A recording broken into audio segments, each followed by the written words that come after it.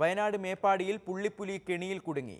കള്ളാടി വെള്ളപ്പൻകുണ്ടിലെ സ്വകാര്യ വ്യക്തിയുടെ തോട്ടത്തിലാണ് സംഭവം. കുളത്തിന് ചുറ്റും സ്ഥാപിച്ച കമ്പികൾക്കിടയിലാണ് പുലി കുടുങ്ങിയത്. ഏകദേശം അഞ്ച് വയസ്സ് പ്രായമുള്ള പെൺപുലിയാണെന്ന് വനം വകുപ്പ് അറിയിച്ചു. South Wayanad D F Shejina Kareem ഉൾപ്പെടെയുള്ളവർ സ്ഥലത്തെത്തി. പുലിയെ മയക്കുവെടി വെച്ച് രക്ഷപ്പെടുത്തി. ചീഫ് വെറ്റിനറി സർജൻ അരുൺ സക്കറിയുടെ നേതൃത്വത്തിലുള്ള സംഘമാണ് മയക്കുവെടി വെച്ചത്. പുലിക്ക് ചികിത്സ നൽകുന്നതിനായി സുൽത്താൻ ബത്തേരിയിലെ വെറ്ററിനറി ലാബിലേക്ക് കൊണ്ടുപോയി.